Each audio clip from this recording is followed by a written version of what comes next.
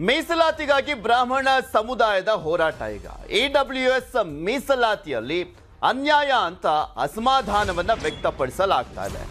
ರಾಜ್ಯ ಸರ್ಕಾರದ ವಿರುದ್ಧ ಬ್ರಾಹ್ಮಣ ಸಮುದಾಯ ಆಕ್ರೋಶವನ್ನ ವ್ಯಕ್ತಪಡಿಸಲಾಗಿರುವಂಥದ್ದು. ಏಕೆಂದರೆ ಇ ಡಬ್ಲ್ಯೂ ಎಸ್ ಏನ್ ಟೆನ್ ಪರ್ಸೆಂಟ್ ಅಷ್ಟು ಮೀಸಲಾತಿಯನ್ನ ಕೇಂದ್ರ ಸರ್ಕಾರ ಘೋಷಣೆ ಮಾಡಿತ್ತಲ್ಲ? ಅದನ್ನ ರಾಜ್ಯ ಸರ್ಕಾರ ಈಗಿರುವಂತ ಮೀಸಲಾತಿಯನ್ನ ಪಡೆದಿರುವಂತ ಸಮುದಾಯಗಳಿಗೆ ಕೊಡಲಿಕ್ಕೆ ಮುಂದಾಗಿರುವಂತದ್ದು ಎಷ್ಟು ಮಟ್ಟಿಗೆ ಸರಿ ಅನ್ನೋದು ಇವರ ಆಕ್ರೋಶಕ್ಕೆ ಕಾರಣ ಆಗಿರೋದು. ರಾಜ್ಯ ಸರ್ಕಾರ ಬ್ರಾಹ್ಮಣರನ್ನ ಸಂಪೂರ್ಣವಾಗಿ ಕಡೆಗಣಿಸ್ತಾ ಇದೆ. ನಮ್ಮ ಇ ಡಬ್ಲ್ಯೂ ಎಸ್ ಮೀಸಲಾತಿಗೆ ಕೈ ಹಾಕಿದ್ರೆ ಸುಮ್ಮನೆ ಇರೋದಿಲ್ಲ. ಅಖಿಲ ಕರ್ನಾಟಕ ಬ್ರಾಹ್ಮಣ ಮಹಾಸಭಾಧ್ಯಕ್ಷರಾಗಿರುವಂತ ಅಶೋಕ್ ಹಾರನಳ್ಳಿ ಅವರು ಹೇಳಿಕೆಯನ್ನ ಕೊಟ್ಟಿದ್ದಾರೆ. ಈ ವಿಚಾರಕ್ಕೆ ಸಂಬಂಧಪಟ್ಟಂತೆ ನಾವು ಬ್ರಾಹ್ಮಣರು ಗಲಾಟೆ ಮಾಡಲ್ಲ ಅಂತ ಸುಮ್ಮನಿದ್ದಾರೆ ಬೀದಿಗೆ ಬಂದು ಗಲಾಟೆ ಮಾಡೋರಿಗೆ ಮಾತ್ರ ಮೀಸಲಾತಿ ಕೊಡ್ತಾರೆ ಇವರು. ಸರ್ಕಾರ ಅಸಂವಿಧಾನಾತ್ಮಕವಾಗಿ ಈ ಸ್ಮಾರ್ಟ್ ಫೋನ್ ಯುಗದಲ್ಲೂ ಇವರು ಫೋಟೋ ಸ್ಟುಡಿಯೋ ಮಾಡಿ ವರ್ಷಕ್ಕೆ ಮೂವತ್ತು ಲಕ್ಷ ಲಾಭ ಮಾಡ್ತಿದ್ದಾರೆ. ನೀವು ಮಾಡಬೇಕಾ? ಅವರಿಂದ ಕಲಿಬೇಕಾ? ಫ್ರೀಡಮ್ ಆ್ಯಪನ್ನು ಈಗಲೇ ಡೌನ್ಲೋಡ್ ಮಾಡಿ. ಮೀಸಲಾತಿ ಕೊಡ್ತಾ ಇದೆ ಅಂತ ಗರಂ ಆಗಿದ್ದಾರೆ ಅಶೋಕ್ ಹಾರ್ನಹಳ್ಳಿ ಅವರು. ಅಖಿಲ ಕರ್ನಾಟಕ ಬ್ರಾಹ್ಮಣ ಮಹಾಸಭಾ ಅಧ್ಯಕ್ಷರು ಅವರು. ಅಶೋಕ್ ಹಾರ್ನಹಳ್ಳಿ ಅವರು. ಅವರು ಈ ರೀತಿಯ ಒಂದು ಹೇಳಿಕೆಯನ್ನ ಕೊಟ್ಟಿದ್ದಾರೆ, ಅಸಮಾಧಾನವನ್ನು ವ್ಯಕ್ತಪಡಿಸಿದ್ದಾರೆ. ಬಿಕಾಸ್ ಮೊನ್ನೆ ಟೂ ಸಿ ಟೂ ಡಿ ಎಲ್ಲ ಮಾಡಲಾಗಿತ್ತು. ಈ ಇ ಡಬ್ಲ್ಯೂ ಎಸ್ನ ಟೆನ್ ಪರ್ಸೆಂಟ್ ಮೀಸಲಾತಿ ಇದೆಯಲ್ಲ, ಅದನ್ನು ಕೂಡ ಅದಕ್ಕೆ ತುರ್ಕಲಾಗಿತ್ತು ಅನ್ನುವಂಥದ್ರ ಬಗ್ಗೆ ಮಾಹಿತಿಗಳು ಸಿಗ್ತಾ ಇತ್ತು. ಸೊ ಹೀಗಾಗಿನೇ ಅಶೋಕ್ ಹಾರ್ನಳ್ಳಿ ಅವರು ಅಸಮಾಧಾನವನ್ನು ವ್ಯಕ್ತಪಡಿಸಿದ್ದಾರೆ.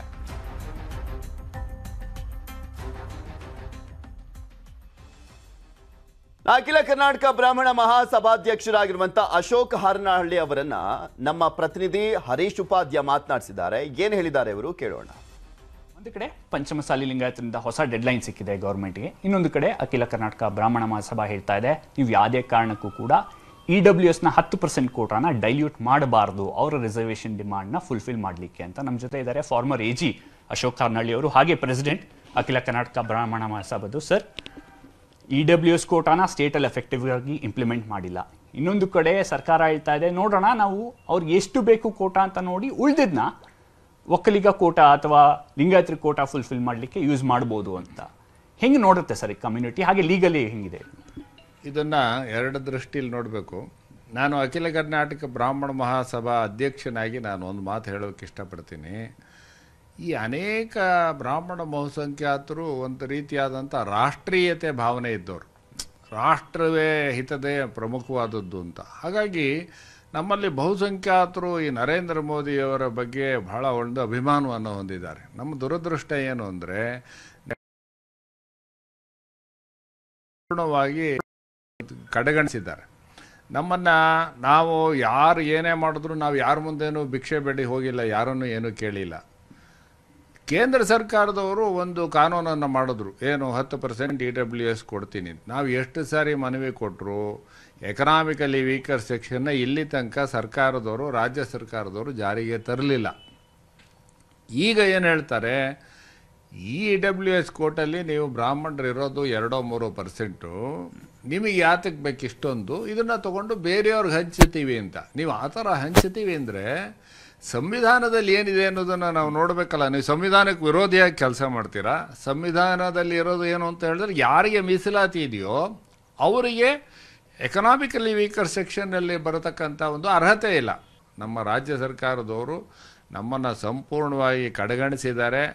ನಮಗೆ ಏನು ಅನುಕೂಲ ಮಾಡ್ದಲ್ಲಿ ಇರಲಿ, ಅನಾನುಕೂಲ ಮಾಡ್ತಕ್ಕಂಥ ಒಂದು ಪರಿಸ್ಥಿತಿ ಇದೆ. ನೀವು ಕಾನೂನು ವಿರುದ್ಧವಾಗಿ ಹೋಗ್ತಾ ಇದ್ದೀರಾ? ನಾವು ಕೇಳ್ತಾ ಇರೋದು, ನೀವು ಕಾನೂನು ವಿರುದ್ಧವಾಗಿ ಹೋಗಬೇಡಿ, ಸಂವಿಧಾನಕ್ಕೆ ಅಪಚಾರ ಮಾಡಬೇಡಿ, ಸಂವಿಧಾನದಲ್ಲಿ ಇರೋದನ್ನು ಜಾರಿಗೆ ತನ್ನಿ ಅಂತ ಹೇಳಿ. ಕಾನೂನಾತ್ಮಕವಾಗಿ ಇದು ನಿಲ್ಲತಕ್ಕಂಥ ಅಂಶವೇ ಅಲ್ಲ, ಅದು ನನ್ನ ಅಭಿಪ್ರಾಯದಲ್ಲಿ ಸರ್ಕಾರಕ್ಕೂ ಇದು ಗೊತ್ತಿದೆ. ಆದರೂ ಸಕಾರಣ ಕೆಲವು ಕಡೆ ಭಾಗದಲ್ಲಿ ಒತ್ತಡ ಬಂದಿರೋದ್ರಿಂದ ತಕ್ಷಣ ಘೋಷಣೆ ಮಾಡಿದ್ರಿಂದ ತಪ್ಪಿಸ್ಕೋಬೋದು ಅಂತಾರೆ. ಬಟ್ ಇದರಿಂದ ಎಲ್ಲ ಸಮುದಾಯದ ಎಲ್ಲರಿಗೂ ಸಹ ಅಸಮಾಧಾನವೇ ಆಗುತ್ತೆ. ಕಾನೂನು ಪ್ರಕಾರ ಮಾಡೋದಕ್ಕೆ ಬರೋದಿಲ್ಲ ಇದನ್ನು ಮಾಡಿದ್ರೂ ಸಹ ಕೋರ್ಟ್ನಲ್ಲಿ ಪ್ರಶ್ನೆ ಮಾಡಬೇಕಾದಂಥ ಸಂದರ್ಭ ಬರುತ್ತೆ. ಓಕೆ. ನೋಡಿದ್ರಲ್ಲ ಇದು ಕಾನೂನಾಗಿ ನಿಲ್ಲಲ್ಲ ಅನ್ಕಾನ್ಸ್ಟಿಟ್ಯೂಷನಲ್ ಹಾಗೆ ಯಾರಿಗೂ ಕೂಡ ಹೆಲ್ಪ್ ಆಗಲ್ಲ ಈ ಒಂದು ಡಿಸಿಷನ್ ಇಂದ ಅಂತ ಹೇಳ್ತಾ ಇದ್ದಾರೆ ಅಶೋಕ್ ಹಾರ್ನಹಳ್ಳಿ ಅವರು. ನ್ಯೂಸ್ ಏಯ್ಟೀನ್ ಕನ್ನಡಗಾಗಿ ಹರೀಶ್ ಉಪಾಧ್ಯ ಬೆಂಗಳೂರಿಂದ. ಮೀಸಲಾತಿ ವಿಚಾರಕ್ಕೆ ಸಂಬಂಧಪಟ್ಟಂತೆ ಇದುವರೆಗೂ ಮೀಸಲಾತಿಯನ್ನ ಯಾವೆಲ್ಲ ಸಮುದಾಯಗಳು ಪಡ್ಕೊಂಡಿದ್ದಾವೋ ಅವರೇ ಮೀಸಲಾತಿ ವಿಚಾರಕ್ಕೆ ಸಂಬಂಧಪಟ್ಟಂತೆ ಇನ್ನೂ ಹೆಚ್ಚಿಗೆ ಬೇಕು ಅಥವಾ ಮೀಸಲಾತಿ ನಮಗೆ ಈ ಪ್ರವರ್ಗದಲ್ಲಿ ಕೊಡಿ ಅಂತ ಹೋರಾಟವನ್ನ ಮಾಡಿದ್ದಾರೆ. ಆದರೆ ಬ್ರಾಹ್ಮಣ ಸಮುದಾಯ ಮಾತ್ರ ಇದುವರೆಗೂ ಕೂಡ ಮೀಸಲಾತಿ ವಿಚಾರದ ಬಗ್ಗೆ ಯಾವತ್ತೂ ಕೂಡ ಹೋರಾಟವನ್ನ ಮಾಡಿರಲಿಲ್ಲ. ಇನ್ನ ಅವರಲ್ಲೂ ಕೂಡ ಸಾಕಷ್ಟು ಜನ ಬಡವರಿದ್ದಾರೆ. ಈ ಇ ಡಬ್ಲ್ಯೂ ಎಸ್ ಅನ್ನ ಕೇಂದ್ರ ಸರ್ಕಾರ ಆ ಕಾರಣಕ್ಕೋಸ್ಕರನೇ ತಂದಿದ್ದು ಎಕನಾಮಿಕಲಿ ವೀಕರ್ ಸೆಕ್ಷನ್ ಅನ್ನುವ ಕಾರಣಕ್ಕೋಸ್ಕರ ಒಂದು ಹತ್ತು ಪರ್ಸೆಂಟ್ ಅಷ್ಟು ಮೀಸಲಾತಿಯನ್ನ ತರಲಾಗಿತ್ತು. ಇದರಲ್ಲಿ ಬ್ರಾಹ್ಮಣರಿಗೂ ಕೂಡ ಅವಕಾಶವನ್ನ ನೀಡಲಾಗಿತ್ತು. ಆದ್ರೆ ಈಗ ಈ ಒಂದು ಮೀಸಲಾತಿಯನ್ನ ಕೂಡ ರಾಜ್ಯ ಸರ್ಕಾರ ದುರುಪಯೋಗ ಪಡಿಸ್ಕೊಳ್ತಾ ಇದೆ ಅಂತ ಅಶೋಕ್ ಹಾರನಹಳ್ಳಿ ಅವರು ಆರೋಪವನ್ನು ಮಾಡ್ತಾ ಅಸಮಾಧಾನವನ್ನ ವ್ಯಕ್ತಪಡಿಸಿದ್ದಾರೆ. ಅಖಿಲ ಕರ್ನಾಟಕ ಭಾರತ ಈ ಬ್ರಾಹ್ಮಣ ಮಹಾಸಭಾದ ಅಧ್ಯಕ್ಷರು ಅಶೋಕ್ ಹಾರನಹಳ್ಳಿ ಅವರು ಈ ಸಂದರ್ಭದಲ್ಲಿ ಅವರ ಆಕ್ರೋಶ ಕರೆಕ್ಟಾಗಿ ಇದೆ ಅಂತನೂ ಕೂಡ ಸಾಕಷ್ಟು ಜನ ಬ್ರಾಹ್ಮಣರು ಮಾತನಾಡ್ಕೊಳ್ತಾ ಇರುವಂಥದ್ದು. ಬಿಕಾಸ್ ನಮಗೆ ಕೊಟ್ಟಿರುವಂಥ ಮೀಸಲಾತಿಯನ್ನು, ಈಗ ಆಲ್ರೆಡಿ ಮೀಸಲಾತಿ ಇರುವಂಥವ್ರಿಗೆ ಡಿವೈಡ್ ಮಾಡುವಂಥದ್ದು ಎಷ್ಟು ಮಟ್ಟಿಗೆ ಸರಿ. ಯಾಕೆ ಆಕ್ರೋಶ ಬಂತು ಅಂದರೆ ಸರ್ಕಾರ ಮೊನ್ನೆ ಟೂ ಸಿ ಮತ್ತು ಟೂ ಡಿ ಅನ್ನುವಂಥ ಎರಡು ಸಪ್ರೇಟ್ ಆದಂಥ ಪ್ರವರ್ಗವನ್ನು ಸೃಷ್ಟಿ ಮಾಡ್ತು. ಈ ಸಂದರ್ಭದಲ್ಲಿ ಈ ಹತ್ತು ಪರ್ಸೆಂಟ್ ಮೀಸಲಾತಿಯನ್ನ ಅಲ್ಲಿ ಡಿವೈಡ್ ಮಾಡಿಬಿಟ್ಟಿದ್ದಾರೆ. ಅಲ್ಲಿ ಹೆಚ್ಚಿಗೆ ಮಾಡಿಬಿಟ್ಟಿದ್ದಾರೆ ಅನ್ನುವ ಕಾರಣಕ್ಕೋಸ್ಕರ ಈಗ